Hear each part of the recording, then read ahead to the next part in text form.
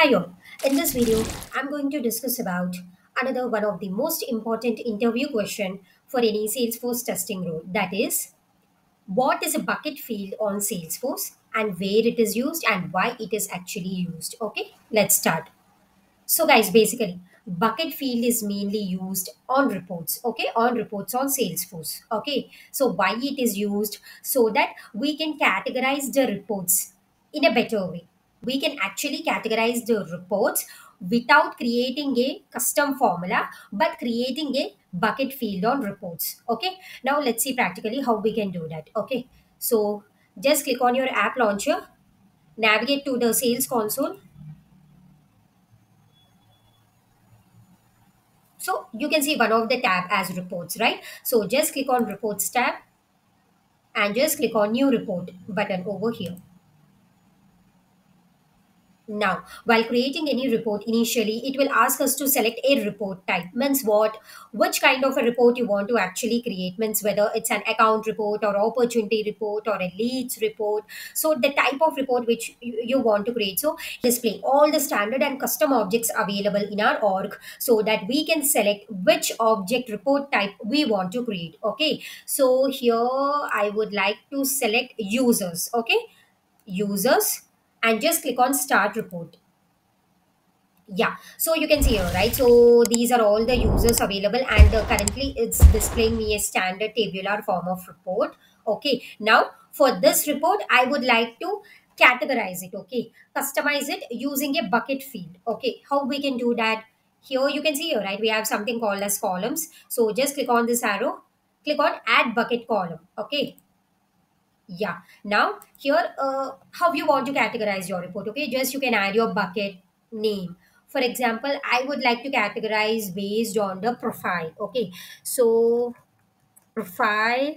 Maybe I can add like Salesforce admin profile, or maybe here mostly we have force.com profiles, right? So I will categorize based on the profile like force.com profile okay? This is my bucket name okay? And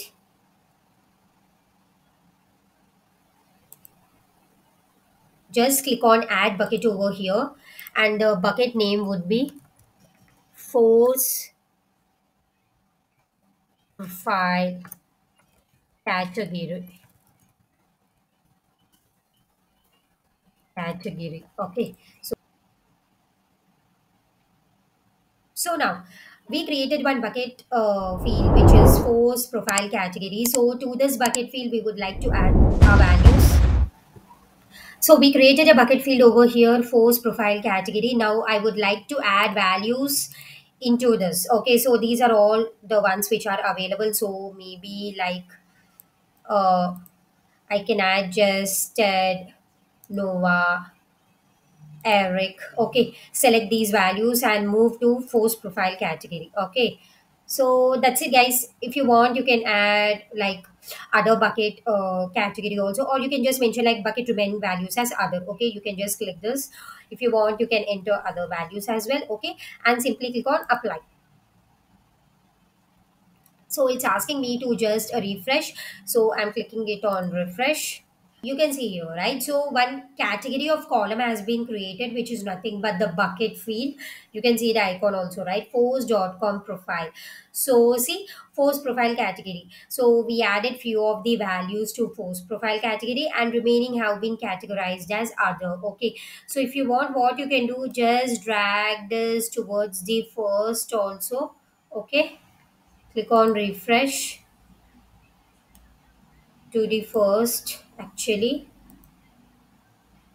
so you can see here, right? See, first category is the bucket field, which we added just now.